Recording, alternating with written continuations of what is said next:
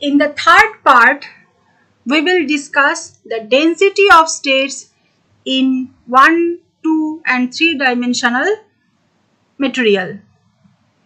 So first of all, we should know what is density of states. So the density of states dE is the derivative of the number of energy states n with respect to the energy E.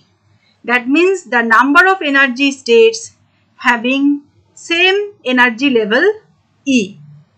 So dE is equal to dN dE and the corresponding number of energy states which have same energy level is called degenerate states and sometimes we consider the density of states GE per unit volume of the crystal that means G is equal to 1 by V dN dE. So in the following we will consider the density of states of a free electron gas that is spatially confined. So density of states of a three-dimensional electron gas this occurs for example in metals. The density of states can be used to determine the charge carrier density in the metal. And density of state of two-dimensional electron gas this occurs in 2D materials such as graphene, silicene, germanene or in the quantum Hall effect. And the density of states of a one-dimensional electron gas, it is for 1D materials like nanotubes, nanowires, etc. Now, we will discuss the density of states in two-dimensional electron gas. So, density of states is defined as the how many available states an electron with a certain energy can occupy. So in the in this figure this is the in the reciprocal lattice space and k is the reciprocal lattice vector.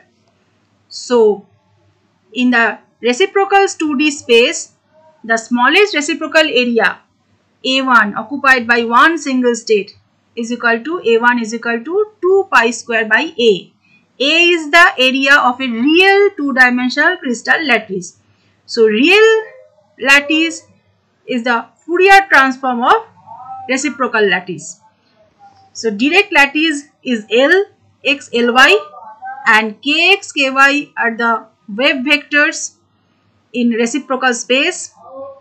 This is inversely uh, inversely uh, proportional to the direct lattice that is Lx, Ly. So kx is equal to 2 pi by lx. So lx is the in the direct lattice in real space and kx is the wave vector in reciprocal space. This the k, k space or reciprocal space is a imaginary space. This is the Fourier transform of direct space. Now to find out the 2D density of states according to the definition we must find out first that available a number of available energy states that is n prefix 2d that means number of energy states in the two dimensional electron gas.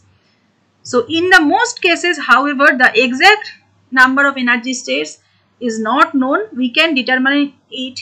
However in if in addition to equation 1 we provide a reciprocal area an occupied by these n states so since the energy states are very close to each other, we can approximate that the reciprocal area AN occupied by the energy states N by a circular area. And the each circle inside of this circular area is a line of constant energy. Why? Because the distance from the coordinate origin to all the k values on the circle line is given by the radius k. So the area of the circle with radius k is an is equal to pi k square. To find out the number of energy states n, we have to find out how often the area A1 fits into the AN. So n, the number of energy states in two dimension that is n 2d equal to AN by A1. So that is A by 4 pi k square. And we know that the electrons have a spin, spin up and spin down. So not only one states fit into the area A1 but two electrons must occupy that states.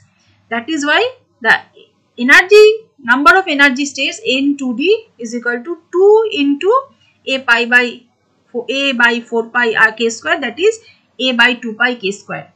Now we have determined the number of energy states but it is as a function of wave number k.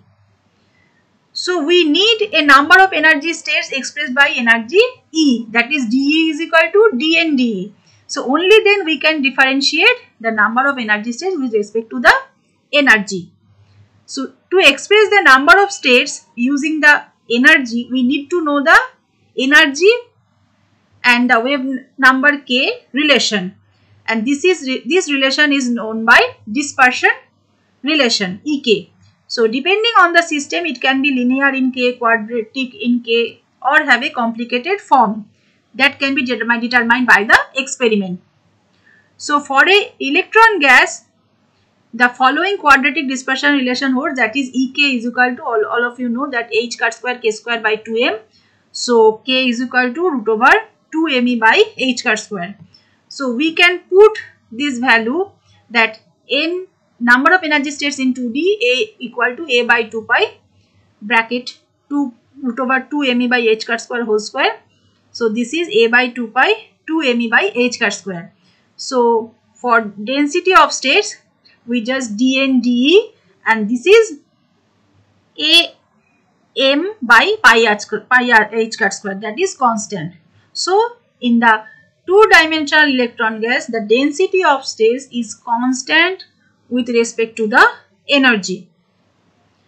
Now, we will find out the density of states in three-dimensional electron gas or metals. So, similarly, in the reciprocal space, now we can draw a Fermi sphere uh, in a Fermi wave vector kf is as the radius so the smallest reciprocal volume in reciprocal lattice space is for a single state V1 is equal to 2 pi whole cube by V where V is the volume of direct lattice space. And the reciprocal volume for a sphere occupied by the number of energy states in 3 dimension that is Vn is equal to 4 third pi k cube here the number wave number k is the radius of the 3D sphere and V is the volume of real crystal lattice. Now we will get the number of energy states that is analogous to the two-dimensional case by calculating the ratio of the reciprocal volumes and number of energy states in 3D three-dimensional system that is Vn by V1 which is V by 6 pi square v k cube by 6 pi square. Now we have to uh, we have to uh, take uh, take into the uh, into account the spin of the electrons by multiplying two factor. So that is v n 3d is equal to v k cube by 3 pi square and similarly we just uh, put the value of k in terms of energy and then we for evaluating density of states we just we have just taken the dNdE and uh, determine the density of states differentiate the number of energy states with respect to the energy dNdE so the density of states is equal to the constant into root E. That means the in three dimensional electron gas the density of states with respect to energy is proportional to root over E. Now we will discuss the what is the density of states for one dimensional electron gas or material. So here a single state occupies the following reciprocal length that is L1 so that is only 2 pi by L. L is the direct lattice vector. So L is the length of a one dimensional system for a quantum wire or nanowire or nano tube etc in which there is a free electron gas and uh, one dimensional system in number of energy states for 1D states take the following reciprocal length that is ln is equal to 2k. So why 2k? Because k is the radius and the 2k is the diameter of the circle. So n1d is equal to lk by pi. So this is uh, now we just write out write down the k as a function of energy and then we just determine the density of states by differentiating the number of energy states with respect to the energy. Similarly uh, similar for 3d and 2d cases.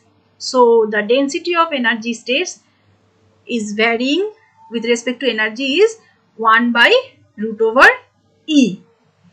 So we in this uh, lecture we have just find out the density of states uh, that is occupying by electrons in 1D, 2D and 3 dimensional material. Thank you. Thank you.